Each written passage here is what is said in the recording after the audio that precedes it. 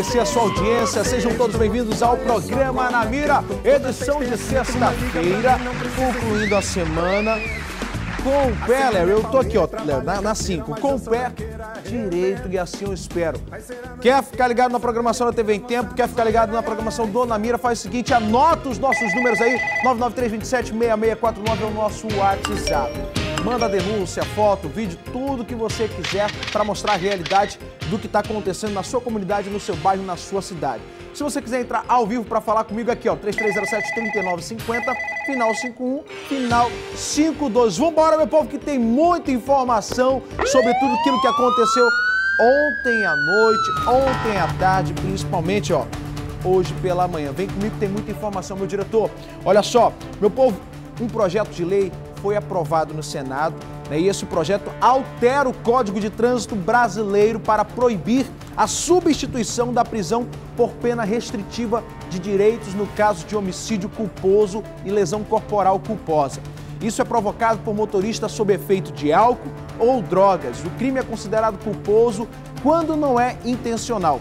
Atualmente, segundo o Código Penal, as penas de prisão podem ser substituídas por penas alternativas em casos de crimes culposos, independentemente da sentença.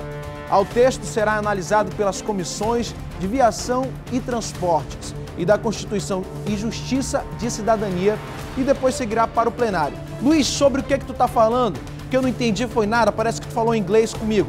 Vamos lá. A pessoa que é envolvida em um acidente de trânsito que vitime alguma outra pessoa, tá certo? Ela tem a alternativa de financiar o crime, ou seja, ela pode pagar uma fiança e sair da prisão. É, e sair da prisão. Só que, meu amigo, quando ela sai da prisão, a pessoa que estava envolvida no acidente, ela não volta. Já foi. É uma perda para a família. É uma perda para a família. Ou seja, esse tipo de crime, quando a pessoa está alcoolizada ou quando está sob efeito de drogas, ela consegue financiar, pagar a fiança lá, financiar não, né? Pagar a fiança e ser liberada. Só que com esse novo projeto de lei no Código de Trânsito, que ainda vai estar sob votação no plenário, já passou pelo, pelo Senado, agora vai para plenário para votação. Nesse tipo de situação, o camarada pode ser preso e o crime pode ser inafiançável. Ou seja, a pessoa vai pagar na prisão. Então é essa, é essa a proposta, é esse o projeto de lei está sendo votado. Agora eu quero abrir a enquete no Facebook para você. Coloca aqui, meu diretor. A enquete é a seguinte: você concorda que motoristas sob efeito de álcool ou drogas devam ser presos se envolvidos em um acidente que provoque a morte de alguém? Vai lá no Facebook, tá aí ó, Facebook TV em Tempo. A nossa enquete vai ser lançada agora. Você que me assiste pela live, já faz a sua votação. Nossa enquete acabou de subir aí, ó, tá certo? Você está acompanhando ao vivo aí, ó, tá aí o nosso Facebook TV em Tempo. A pergunta já tá lá. Você concorda que motoristas sob efeito de álcool ou drogas devam ser presos se envolvidos em acidente que provoque a morte de alguém? Se sim, vai lá. Se não, também volta lá e faça o seguinte: comente lá também, tá certo? Comente lá também. Muito obrigado você que já me acompanha pela live, tá certo? Muito obrigado. Já tem já, meu diretor? Tá aqui, ó. O pessoal já tá votando aqui, ó. Então faça o seguinte, vá lá, nos acompanhe pela live, mas faça a sua votação também. Tá certo então? Vamos de informação, meu diretor? Podemos mudar de assunto? Vem cá comigo. Vanderlei Modesto vai trazer informações de um homicídio que ocorreu lá no bairro da Betânia na tarde de ontem. Dois, meu povo, foram baleados, foram baleados, foram, foram baleados e um acabou morto. Coloca na tela aqui. O crime aconteceu por volta de meio-dia da última quinta-feira. Aqui no canto da rua 31 de março, com São Jerônimo, no bairro da Betânia, zona sul de Manaus. A história que nós sabemos é que o Moacir, que morava aqui nesta casa, e um amigo dele de infância, o Bafo, como é conhecido, estava em uma lan house. Ali onde vem passando aquele homem de amarelo, com a camisa da seleção brasileira. De lá, o Bafo ligou pro Moacir disse: Moacir, vem aqui no canto da rua que eu quero falar contigo. E quando chegou bem aqui, onde tem a marca de sangue, um homem que também estava na Lan House veio descendo atrás do bafo. Quando o bafo estava conversando com o Moacir, este homem chegou, sacou de uma arma e deu vários tiros. Três tiros atingiram o Moacir e o bafo também foi atingido. O Moacir morreu no SPA aqui da Zona Sul. E o bafo foi conduzido até o 28 de agosto, onde está em estado grave de saúde.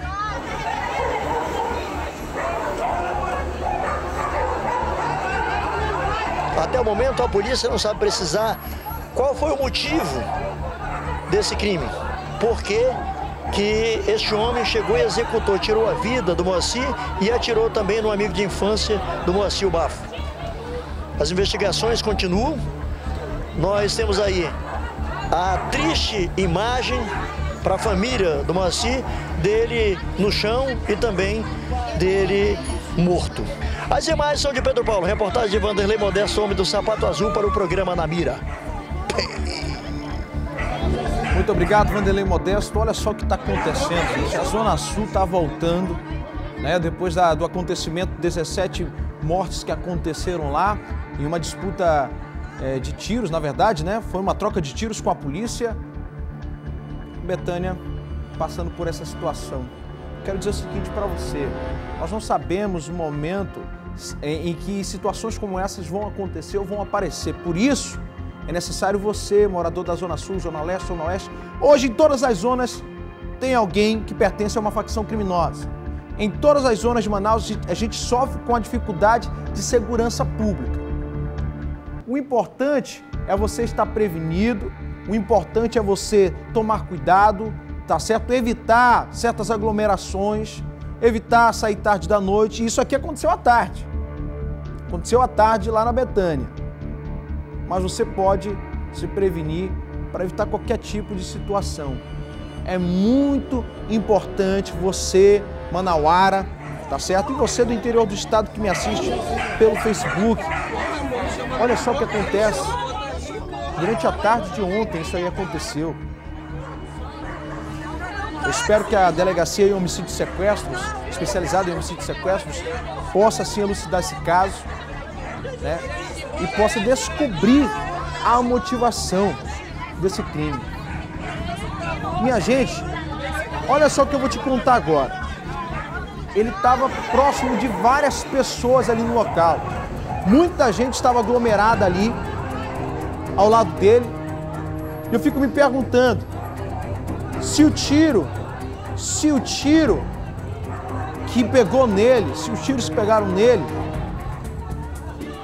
se pega em outra pessoa, se pega em uma criança, se pega em, em, em uma senhora, em outros envolvidos ali. Vamos lá, traz aqui para mim de novo, coloca, enche a tela aí, isso, enche a tela aí, Gisele. Mostra a parte em que está tá aparecendo várias pessoas aí pra gente contar quantas pessoas tinham ali. Olha aí, parou aí, parou aí, Gisele. Aí, isso. Uma, duas, três, quatro, cinco no alto do seu vídeo. Uma, duas, três, quatro, cinco aqui no meio. Seis com uma outra mulher. Né? Então, gente, já temos 11 aí. 12, 13, 14, 15. 16 pessoas só no momento dessa gravação aí. Eu tô aqui, Léo. Não, vou ficar aqui nessa aqui, ó. Nessa aqui, ó. Isso, vou ficar na 4 quase 20 pessoas só no momento para ajudar a colocar o camarada no carro. Uma área de movimento. Próxima feira da Betânia, não é isso, meu diretor? Próxima feira? Olha aí. Se a gente for contar quantos inocentes morreram no meio desse fogo cruzado, minha gente, pelo amor de Deus, é algo preocupante. A gente percebe que a polícia está dando a resposta, né? A gente percebe que a polícia está dando a resposta, mas ainda assim, a gente precisa fazer muita coisa muita coisa mesmo.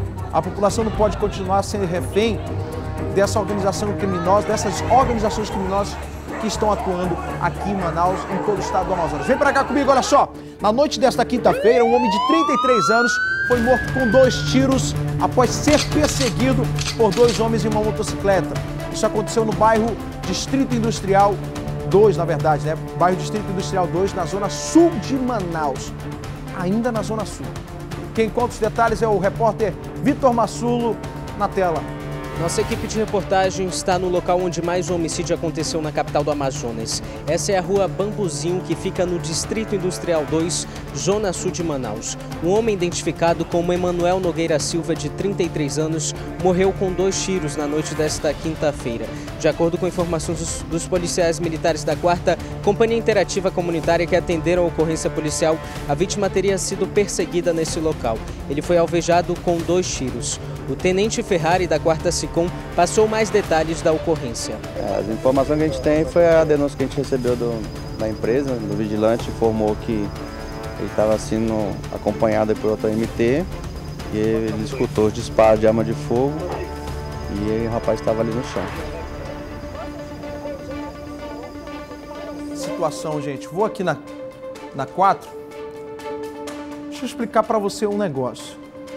Quando crimes são parecidos como esse, crime de execução, nós já imaginamos uma possível motivação, que seja acerto de contas. Mas ainda assim, olha só, vamos lá, vamos lá, vem para cá comigo. Distrito 2. Distrito 2, Zona Sul de Manaus. A gente sabe que é uma área de pouca movimentação durante a noite, né? A escuridão toma aquele lugar. Distante das áreas movimentadas de Manaus. Eu não entendo o que, é que a pessoa estava fazendo lá, no meio da escuridão. E depois me aparece sendo executada. Um possível acerto de contas, tá certo? Vou ao vivo agora, meu diretor? Vamos fazer o seguinte, nós vamos ao vivo agora com quem, meu diretor? Com quem? Com a Bárbara Mitoso? Olha só, vem pra cá comigo na 3 aqui, Léo.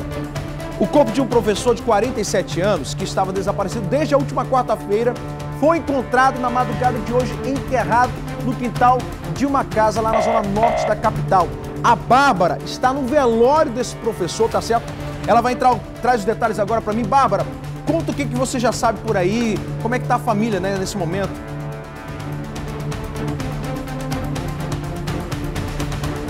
Olá, Luiz. Bom dia. Bom dia para você que acompanha o programa Na Mira. Luiz, aqui é, é, o clima de comoção mesmo, viu? É, os familiares ainda não chegaram, o corpo do professor Antônio Genivaldo Lacerda ainda não chegou.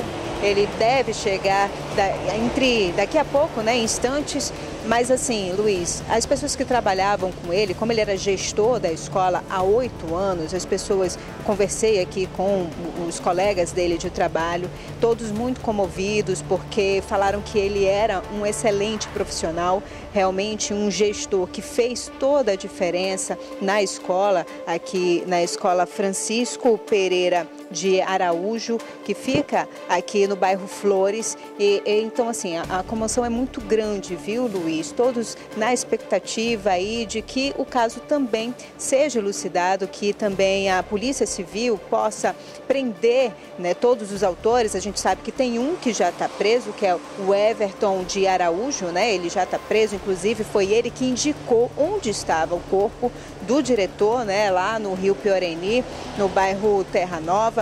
Então, é, a, a, a, o sentimento aqui, Luiz, é realmente esse, é de dor, é de comoção, mas também de revolta e daquela sede de justiça, né, para que a polícia possa prender os autores e também possa entender o porquê que fizeram isso, porquê que mataram de forma tão cruel esse diretor, essa pessoa que todos aqui dizem que não é porque, infelizmente, é, ele morreu, mas que porque realmente era um bom profissional, era realmente uma boa pessoa, né, um, um trabalhador.